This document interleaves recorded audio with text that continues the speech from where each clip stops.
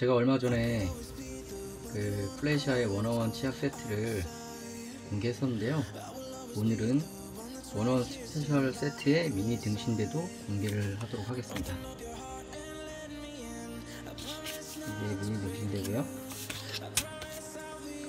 포카랑 그 포지, 포장지는 똑같은데 사이즈가 큽니다. 뜯어보겠습니다.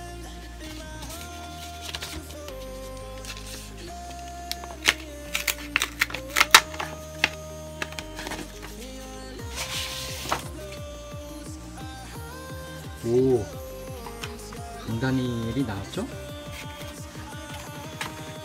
아, 이거 뜯어가지고 조립을 해야 되는 거기 때문에 조립은 하지 않도록 하겠습니다.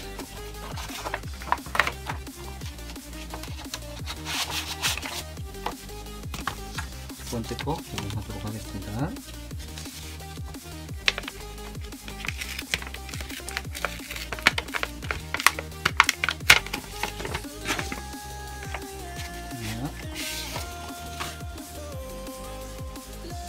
이거는 홍련이에요?